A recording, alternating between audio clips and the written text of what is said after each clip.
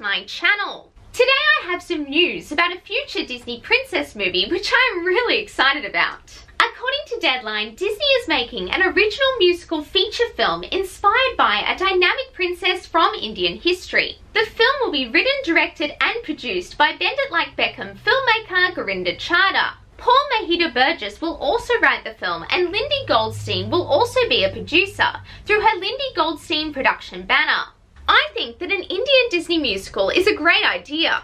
You could have a lot of really vibrant Bollywood numbers that I think a lot of people would enjoy. In addition to this live action project, there is also a possibility that we will get a Disney animated movie set in India in the near future. In an interview with India Today, Encanto directors Jared Bush and Byron Howard spoke about their interest in making a Disney animated film set in India.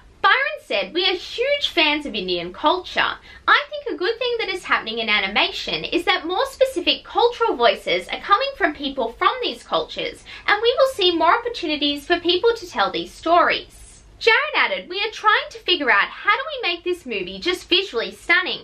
We looked at some Bollywood music videos because it is done so well and it is such a celebration and colour and excitement and music. I would see a Disney musical set in India for sure.